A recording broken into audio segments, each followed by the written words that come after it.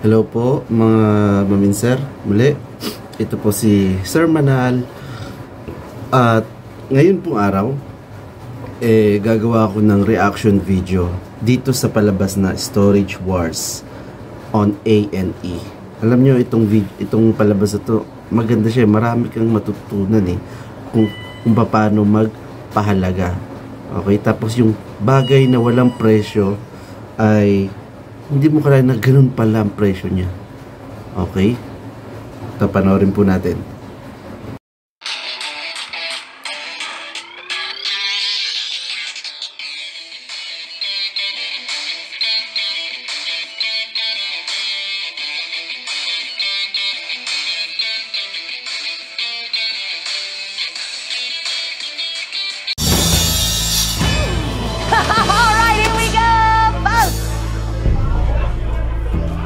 Oh boy.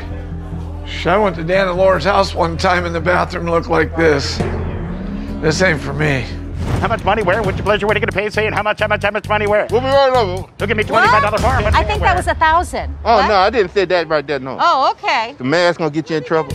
20 going once, price would have been 20, not 30, not 40, would have been 40, 40 Kaya, now 50, 50 bucks would have been 60, 60 bucks Kaya, 60, 70, 70, 70, 80, 80 bucks would have been 80, 80 bucks, 85, 90 bucks, 90 bucks, 90 both out, 90 bucks, is that you? Yeah. Now, 100 bucks? Like 120, 130, 40, 130, 140, 50, 100, 150 where? Shaking his head no. 150 going once, 150 going twice, last time to call, 150 bucks not. What Okay. Ah, nanalo si si Kenny na siya nanalo sa bidding. Yung pinaka-highest bid is 140 dollars. Mag ah, magkano ba ngayon yung ah, convert ng 1 dollar sa peso?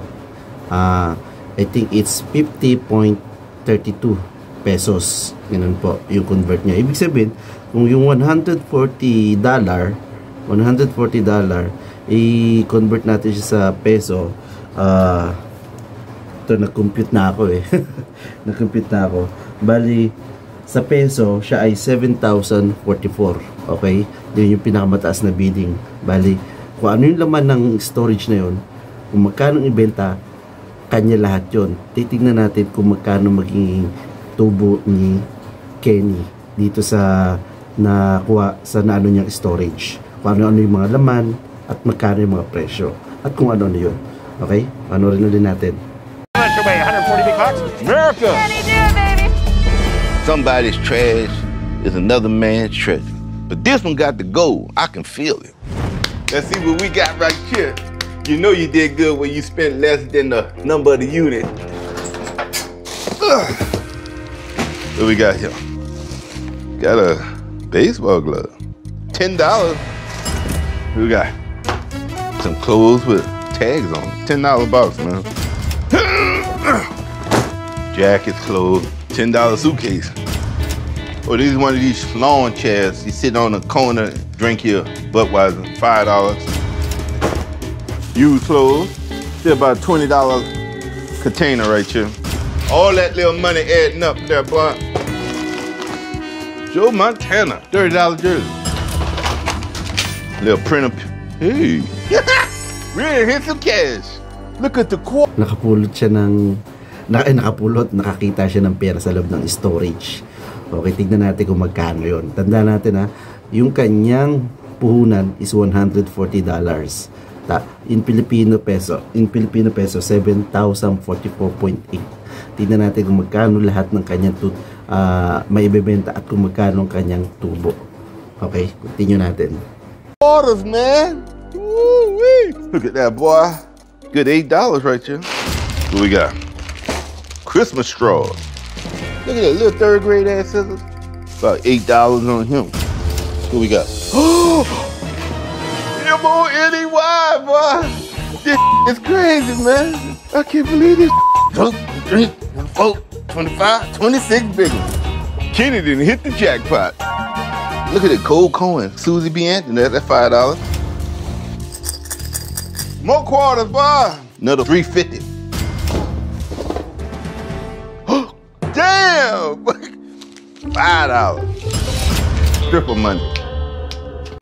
Okay, nakapulot uli siya, eh, nakakita uli siya ng pera. Bali, naka 140 N50 na siya. Okay? Parang bumalik na yung kanyang ah, ginastos. Ngayon, yung makukuha niya pang iba niyan, yun na yung tubo niya. Ang ganun, di ba? Sinuwerte siya sa storage. May mga pera yung loob ng storage. Ayos. I got that jingle in my pocket. This money in my pocket. What? What's going on, bro? For real? Lucky two dollars. Damn, America! I'm telling y'all. Get your ass out your seat and carry your ass to the nearest street and get a storage locker. You gotta check all these envelopes, bro, cause the Look at all these quarters. Oh, cha-ching! I love this job. Wash clothes for about two months. It is. Five dollars a dime. And guess what? Ten dollars, twenty dollars, thirty dollars. Damn! Another two dollars. Oh, oh, oh, oh. My pants are falling off because I got so much money in my pocket. Oh, Look at this right here, America. Pickleball set. You ain't never heard of no dang um, pickleball. It's a pain on somebody's ass with this shit. I never heard of this thing. I gotta get this checked out. It don't even look green, it's yellow. Should be called bananas. Or no, the bride portion. This the kind of stuff you don't keep in your house. This comes to life at night. You walk around in your living room while you sleeping and watching CNN by yourself. She could go for twenty dollars. And I gonna find you a nice home, girl. I will put on that bench twenty bucks. That's it, America. Don't ever underestimate a dusty old locker. You never know what kind of Bali, naka 253 dollars siya. Okay? Naka 253 dollars siya. Tapos, meron pang ping pong, parang, parang pang ping pong yata yun. Hindi pa alam kung magkano yung presyo yun. Ito yung kagandang sa bansa na to eh.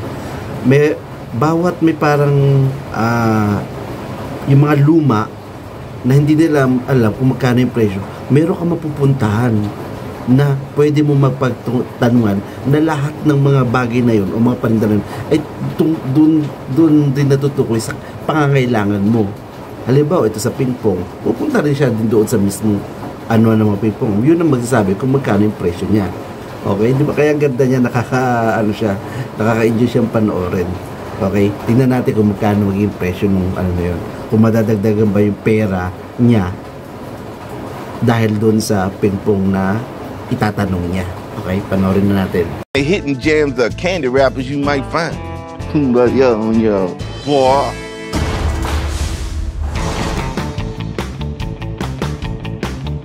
Yo, Steve. Hey, how you doing? I'm all right. How you doing, Good, brother? good. Good to meet you. I'm meeting up with Steve, who was a professional pickleball player.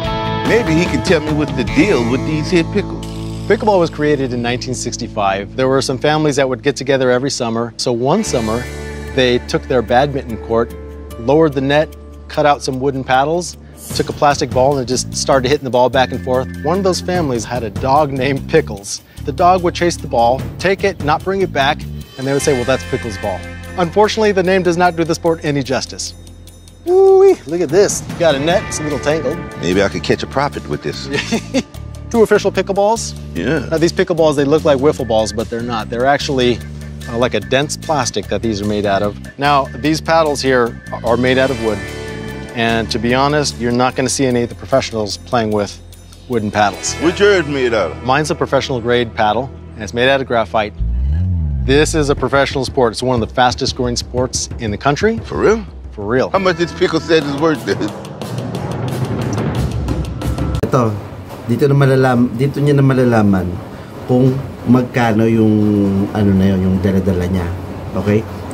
Ang pera niya na is 253 dollar. Okay? Magkano kaya idadagdag yun? Tingnan natin kung malaki ba o hindi. 'Di ba?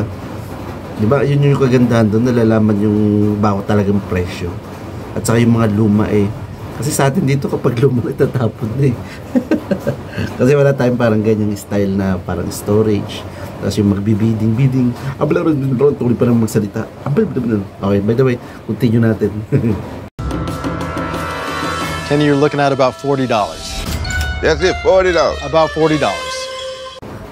40 dollar lang siya. Ibig sabihin, mas marami pa yung nakuha niyang pera doon sa loob ng storage kaysa sa presyo ng na, ano niya, yung pang parang ping ba yun? Yung parang gano'n, yung parang bang kung ano yan. Okay, 40 dollar.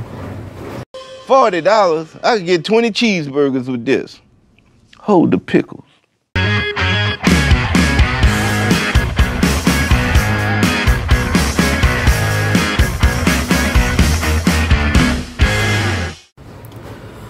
So, ayun nga, medyo na-disappointed si Kenny sa nalaman niyang presyo ng pickleball.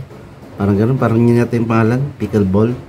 Ah, hindi akala niya malaki makuha niya doon kung, kung oras na malaman niya kung, kung magkano ito pag binenta. So, 40 dollars lang. So, no, bali yung total niyang nakuha sa storage is 293 dollars. Tapos, yung profit niya is uh, 140 dollars from 7,048.8 ngayon naging uh, 14,743.3 yung equivalent ng 293 dollars. So ibig sabihin 14,743.7 pesos minus 7,044.8 pesos. Tumubo siya ng 7,698.9 hindi na masama 'di ba? Malaki na rin yun.